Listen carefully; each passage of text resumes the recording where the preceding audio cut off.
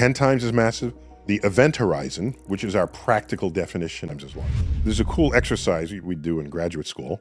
You can, given the mass of the universe, how big would the black hole be that contained this much mass? It's the size of our universe to our horizon.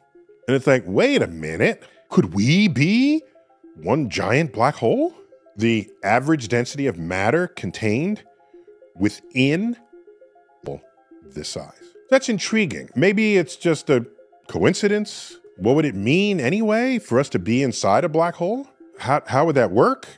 Well, it turns out if you run the mathematics of Einstein's general theory of relativity into a black hole, it turns out a whole new space-time opens up on the other side. And you look behind you and the entire future history of the universe unfolds relative to your time frame. And so the universe you came from basically ends and a whole new universe opens up in front of you.